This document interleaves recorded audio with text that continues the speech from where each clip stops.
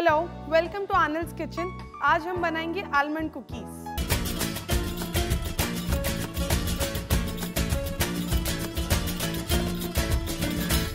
will take butter salted butter ही लिया है.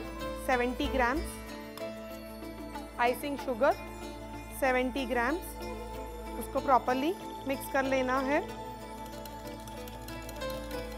अच्छे से विस्क करना है इसको.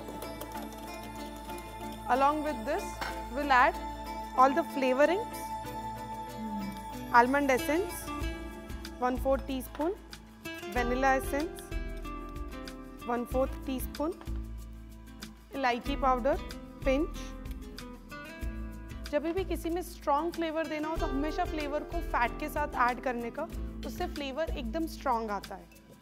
Will mix it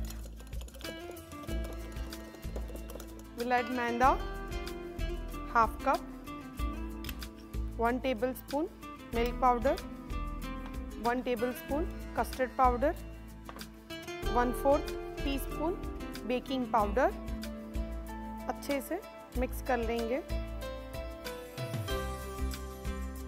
अभी मैं आलमंड सारे, उसके ऊपर टॉपिंग में यूज़ करने वाली हूँ but you can add little almonds into this also that is optional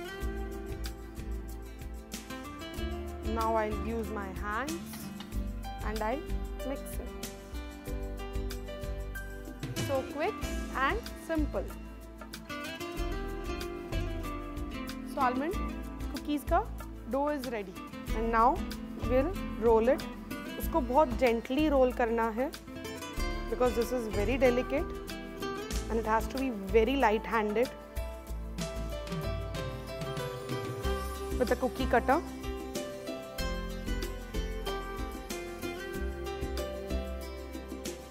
अब इसको बेकिंग ट्रे में ले लेंगे।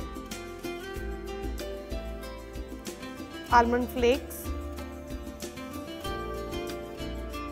इसके ऊपर जेंटली प्रेस करना है। So just like almond cookies you can make all mixed nuts cookies and will bake the cookies at 180 degrees in a preheated oven for almost 15 minutes